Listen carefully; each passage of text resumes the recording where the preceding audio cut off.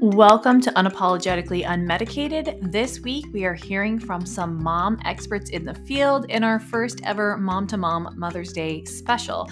I'm your host, Fierce Lizzie, your favorite advocacy based birth educator and homeschooling business mom. But today, you're not going to be hearing from me. The Mom to Mom special is going to include moms just like you sharing the important topics that are near and dear to their mama hearts. Consider this our Mother's Day present to you and stay tuned every day this week for a brand new mini episode.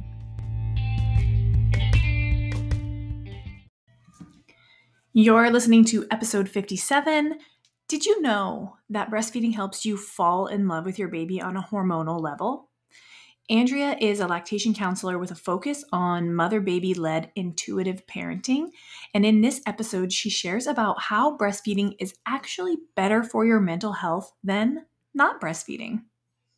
I feel like it's a common misconception that breastfeeding affects your mental health negatively but I really want to talk about the ways in which it can actually positively affect your mental health. Birth and breastfeeding is kind of like a hormonal continuum. And in that process is the flowing of oxytocin.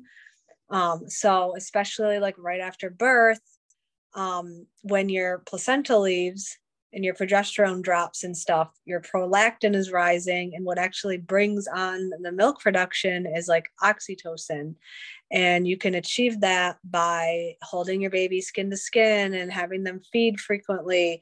Um, and oxytocin, you know, the same hormone that brings on contractions and the same hormone you get like when you have an orgasm, the love hormone is actually what helps you fall in love with your baby um, and the, that is emitted during nursing. So, like Leche League had a quote that said, like, breastfeeding is what helps you fall in love with your baby. That's not to say like if you don't breastfeed, you don't love your baby. That's not what I mean. But like physiologically, that hormone is what like gives you, I guess, because you know, motherhood is so hard, having a newborn is so hard, but that's the hormone that makes you like fall in love with your baby like you know bond to your baby so that you you know you don't leave it in a cave somewhere like you know cavemen times.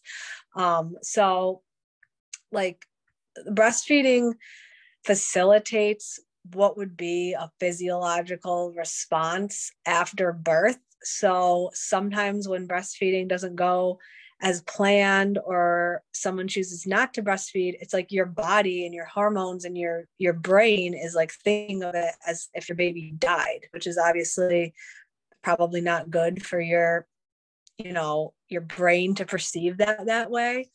Um and obviously when we talk about all the different birth interventions and ways that that continuum can get like interrupted I think that can be a root of mental health problems in the beginning.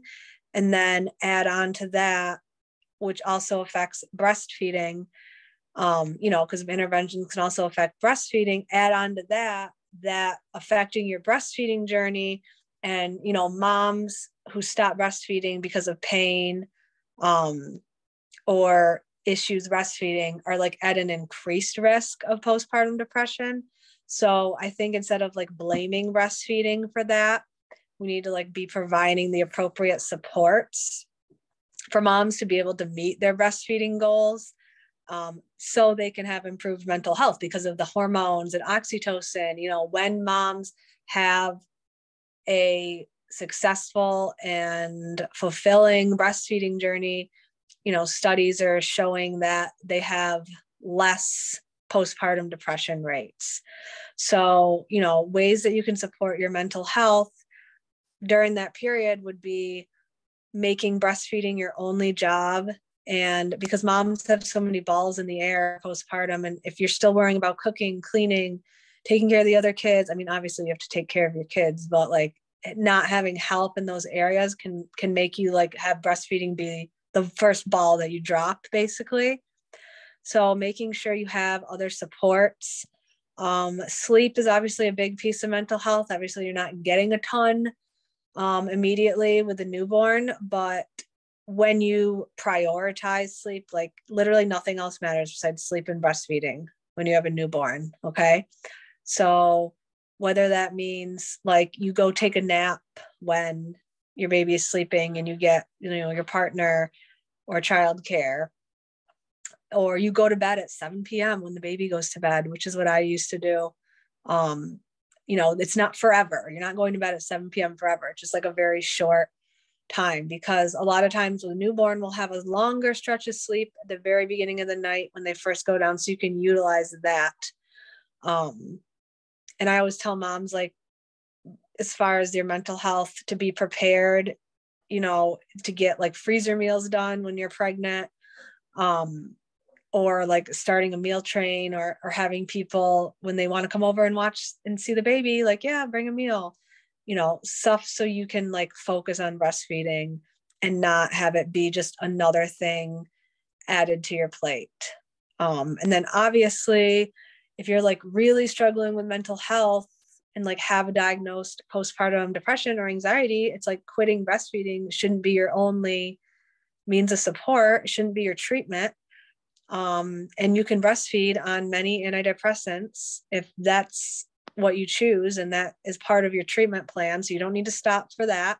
When you get proper treatment like medication and therapy um, you can oftentimes like keep breastfeeding. Um, and then once you get over the hump of you know whatever mental health issue you're dealing with and you're successfully breastfeeding um, you're going to be a lot happier that you didn't give up on yourself so, speaking of mental health and being prepared, I have a whole breastfeeding course um, that gets pregnant moms, you know, prepared for breastfeeding. And I think one piece that's missing from a lot of different other breastfeeding courses is the mental health piece um, and postpartum support piece. So, like, we literally have an entire module just on that inside my breastfeeding course, all about mental health and postpartum support and like getting help um, and being prepared in that aspect. So you can go ahead and check out my Instagram at instinctual mothering to find out info about the course. What an amazing episode. I am so thankful to all of the moms that have contributed to our special series for Mother's Day, and I hope that you are enjoying it too. Do me a favor, and if you enjoyed this episode, please share it out and tag me tag the guest so that more moms can join in on these wonderful episodes. Don't forget to check out the show notes for more and to connect with today's guests and grab any downloadable freebies it's linked in the description or you can go to fiercelizzie.com slash podcast slash mom to mom and that's the number two mom to mom. And as always stay fierce mama